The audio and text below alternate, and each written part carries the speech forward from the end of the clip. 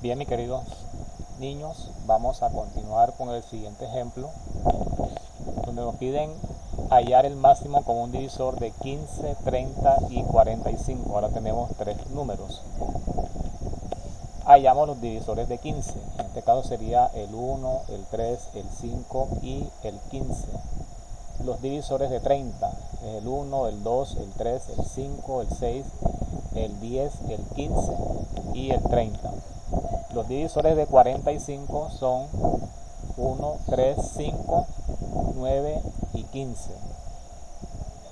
Como les decía en el video anterior, ya ustedes saben hallar los divisores de un número.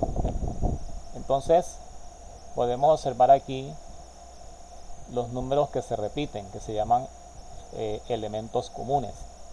Se repite el 1, se repite el 3, y también se repite el 5, lo observamos, pero también se repite el número 15. Los demás no se repiten.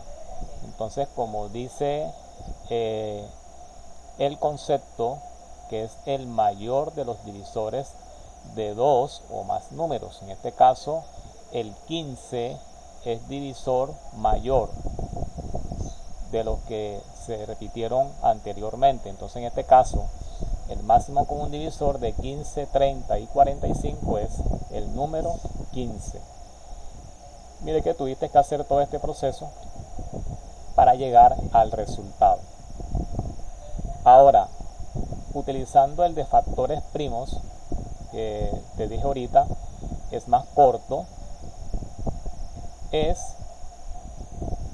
hallando los factores primos de, esos números, como lo expliqué en el ejercicio anterior. Vamos a utilizar los números primos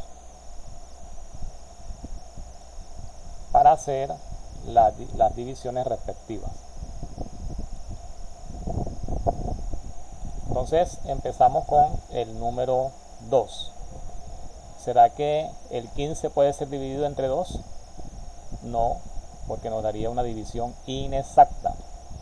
El 30 sí, el 45 tampoco. Por lo tanto, descartamos el, el, 2, perdón, el 2. Vamos a coger ahora el 3. Entonces, pues, podemos observar que el 15, el 30 y el 45 sí pueden ser divididos entre el número 3. El 3 es un número primo, por eso se llama factores primos. Entonces 15 entre 3 es igual a 5, 30 entre 3 es igual a 10 y 45 entre 3 es igual a 15. Recuerden que eh, el máximo común divisor es diferente al mínimo común múltiplo. No se vayan a confundir. Vamos a mirar el resultado de estos tres números. 5, el 10 y el 15. Pues empezamos con el 2. Si utilizamos el 2, mire que lo podemos, que el 10 sí puede ser dividido entre 2, pero el 5 y el 15 no pueden ser divididos entre 2. Cogemos el número 3. En este caso, eh, el 3, el 15, perdón, si puede ser dividido entre 3, pero los demás no. Vamos a, coger el 5 ahora.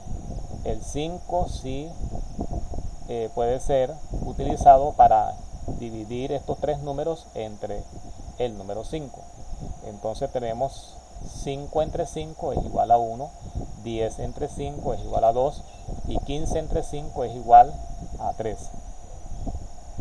El resultado de todo esto podemos observar que no podemos utilizar un número de aquí para hacer divisiones exactas con estos números porque el 1 no puede ser dividido entre 2, el 2 sí, el 3 tampoco, por lo tanto hasta ahí llega el procedimiento.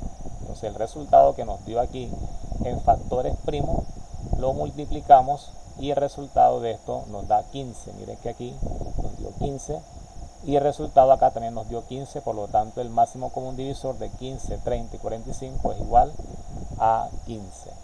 Seguimos con otro ejemplo, con un tercer ejemplo en el siguiente video.